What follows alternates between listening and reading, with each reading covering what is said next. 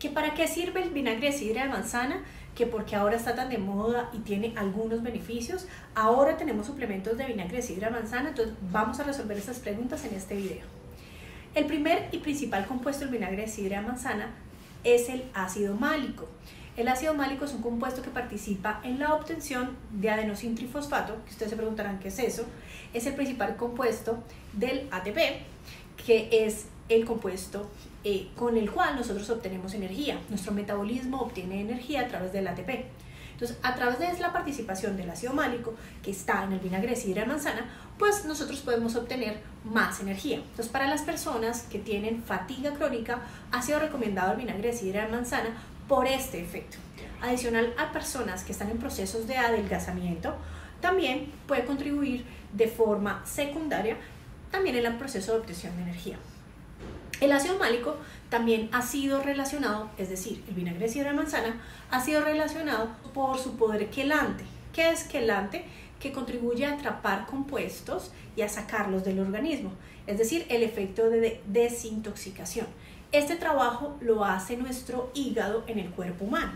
Entonces, por esta misma razón, por su poder quelante, el ácido málico en compañía del el vinagre de sidra de manzana, por supuesto, se ha relacionado como un protector hepático, porque le ayuda al proceso de que hace el hígado dentro de nuestro cuerpo de sacar todas esas cosas malas, de desintoxicarnos eh, con todo lo que estamos expuestos nosotros los seres humanos. En compañía de otros antioxidantes como vitamina C, vitamina E, puede contribuir muy positivamente a mejorar el efecto del estímulo que tiene el sistema inmunológico dentro de nuestro organismo. Entonces, por esta razón, también se ha recomendado en temas eh, eh, relacionados con el sistema inmune. Otro de los efectos, y es que es muy muy conocido, el vinagre de sidra de manzana y ahora muy popular, es por el efecto que tiene sobre la glicemia.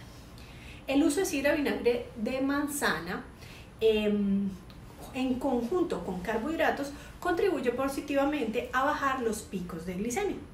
Johnson y colaboradores en un estudio lograron demostrar en pacientes diabéticos que tenían un porcentaje mucho mayor de hipoglicemias o de contribuir a bajar los picos de glicemia en las personas que consumían vinagre de sidra de manzana junto con las comidas.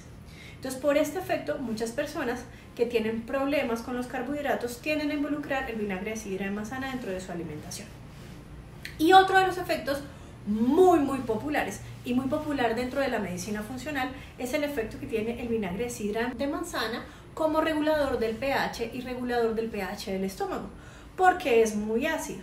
Entonces contribuye a acidificar el estómago y ya todos sabemos que es muy importante mantener el estómago ácido.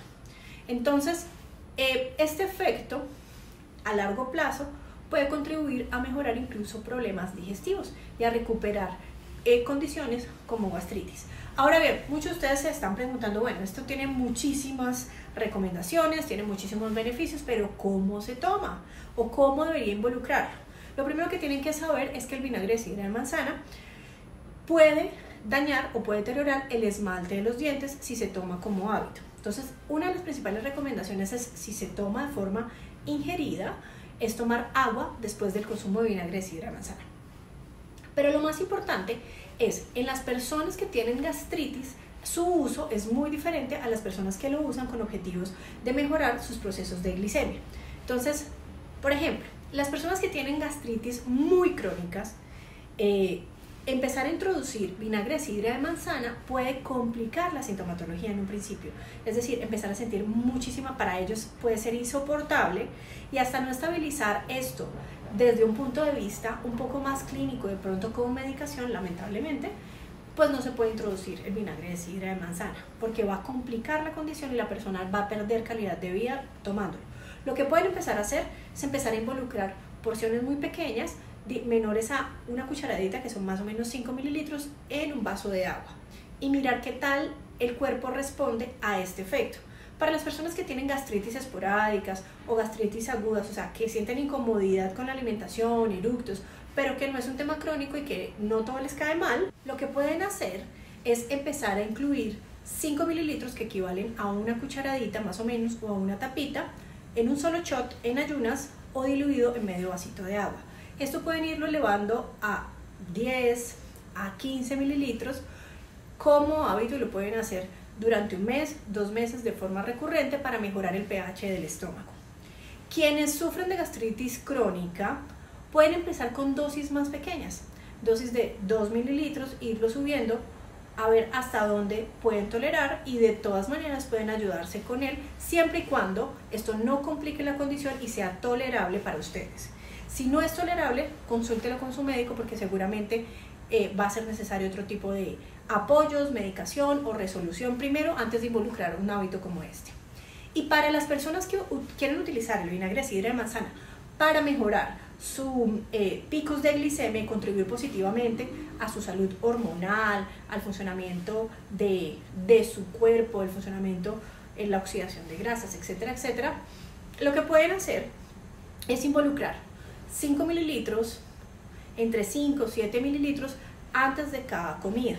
Y sobre todo antes de cada comida, donde hayan carbohidratos. Recuerden que siempre después de tomar el vinagre sidra de manzana, deben tomar agua. Es decir, si toman el vinagre sidra de manzana, comen y después toman bastante agua para que no haya efectos sobre el esmalte de los dientes. Espero que este video les haya servido. Si tienen alguna otra pregunta, duda de cómo usarlo y demás, pueden dejármelas en los comentarios. Que tengan un bonito día. Chao, chao.